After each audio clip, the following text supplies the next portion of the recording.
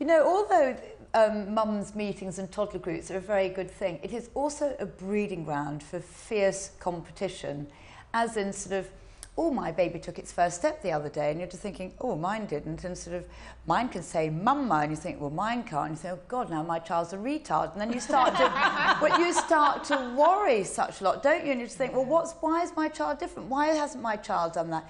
And particularly if your child is the last one to walk, and every week or every day that you meet up with the mums and everything, and suddenly it's like, oh, mine did, you know, sort of a few days after yours did, and da da da, and suddenly it's like, well, mine still hasn't, and they're yeah. all roughly the same age.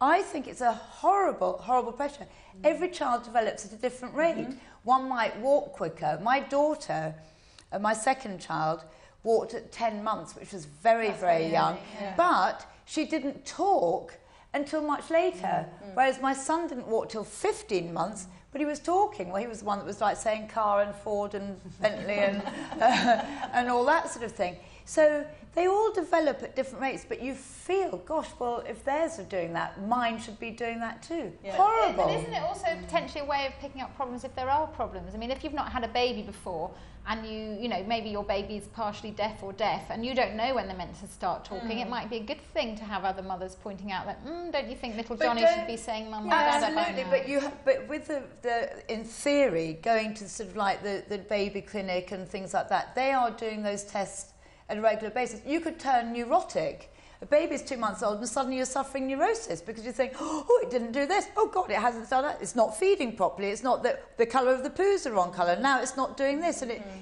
it starts very... But doctors don't always pick things up. Now, I had this um, experience in my mother's group where one of the women's baby looked so sick and we were all saying, you've got to go to the hospital. That baby was, it just wasn't moving. And she said, I've been to the doctor twice. He says there's nothing wrong.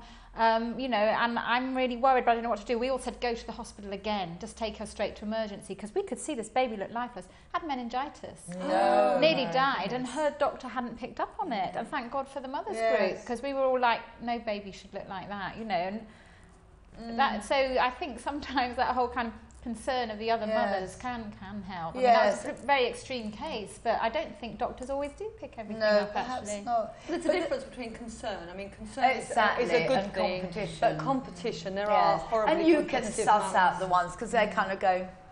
Yeah. Aren't they? Sort and they dress smug. the babies in oh, designer oh, clothes as oh, if the oh, baby cares you know, as if the baby cares and it's got designer labels And they, on they all, they all dress up to come to the mum and toddler group as well, don't they? Yeah, yes, yes. Full makeup. Yeah, oh, God, it's like at school. And I sort of sometimes, it's like in the morning. I mean, honestly, I would drop my children off in my dressing gown. Mm. I'd have a dressing gown on, coat on top, slippers on my feet, like, oh, darling, you know, like this sort of thing. And you see all these mothers, and they didn't have to get out the car, but they did because it was like sort of fashion shows, as they got out, bye, darling, you yeah. know, like this sort of thing. And then they come back and collect them, sort of at, you know, it's end of day at school.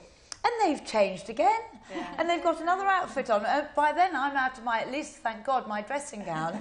and I'm wearing something fairly sloppy and actually very practical. Yeah. It's ghastly. So the competition sort of like is, you know, through the children and everything. And themselves. And actually, horrible. It, starts, it even starts when you know when you're pregnant and shopping for the, the right equipment. Like the, this concern for the right equipment oh, yes. absolutely baffles Must me. have that and people and buying six hundred pound oh, prams. going to last a year before they've outgrown exactly. them. Exactly, yeah. and you know the, the, the label on it. No, I think that really you know, in the right bottles and the right you know, yeah. it's all very you know. I'm doing the best thing for my child because look, paid lots of money. But I did feel a yeah. bit embarrassed about not having a posh pram because we, we, no, I felt embarrassed, mm. and we got it. My father got me a pram which he found on a skip, right? And it was a perfectly nice pram. It was a silver cross, and my husband went, "Oh, isn't that great? We don't have to buy a pram now." But I did feel embarrassed walking around with but this they, old pram. But it was others that made you feel bad. Then did you feel they were looking and going, mm, "Yeah, that, that's bad. last year's"? Yeah. yeah well, no, that's, that's an old pram. And, last year's model. and I, I sort of felt as though my motherhood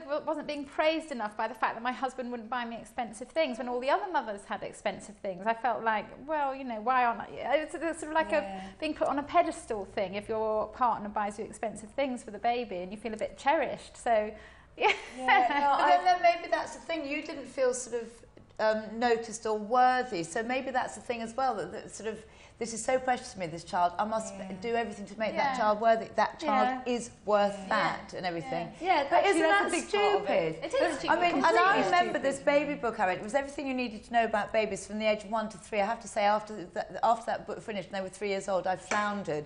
but, uh, but it was saying, you know, a baby comes into the world. If you haven't got a cot, put them in a in a drawer. Yeah, it was literally yeah. that. Or my little brother was in um, was in a suitcase because yeah. he was premature. Yeah. Yeah. Oh. But talking about the competition, uh, or not even competition, but being made to feel that you're inadequate because um, my children, with the advent of of um, of what they call stick on Pampers. Yeah, all that sort of thing. Disposable yeah. nappies. Thank you. Is that the one? Thank you. You see, it affects the brain. Disposable nappies. I think that that's what lulls the baby into thinking it's okay to wee in the middle of the night because I'm not going to feel uncomfortable because mm. it's all soaked up, isn't it? So they do seem to be now um, later get, uh, getting out of out of nappies and, oh, and being dry. Good theory. I never thought. Well, I, that's like my that. theory. That's well, what I think. It's a brilliant theory that makes absolute sense. But my um, the, another pair of godparents and my children made me feel terrible because they said, "You mean they're not dry yet? You, you have to still put nappies on them and, and uh, pampers and things on them."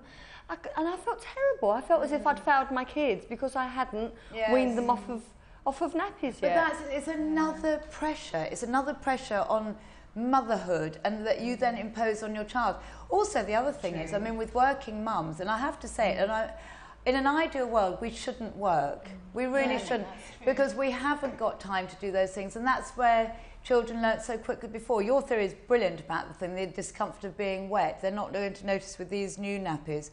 But all that is time consuming and it yeah. does take time mm. and it's much quicker to just think oh I haven't got time to take to the to the loo and all the false alarms yeah. and everything you know it's it's a time waster if you like oh let them just sort of get on with it and it'll happen mm. Do you, do you think competition gets worse as the kids get older with the other mothers, kind of like how well they're doing at No, but I think it gets or... worse with them between themselves yeah, then. Then exactly. that starts to kick in because they suddenly get very conscious, oh, look, sort of like the trainers and it's brilliant to have uniform at least at mm. schools, but there are other agree. things that that do come into it. Like they might have a really fantastic pen, let's say, in the classroom. Yeah. So it starts, yes, with the mothers competing with each other, like sort of bragging about their babies, and it gets introduced into yeah. them. Yeah. Yeah, I think it's the whole way through.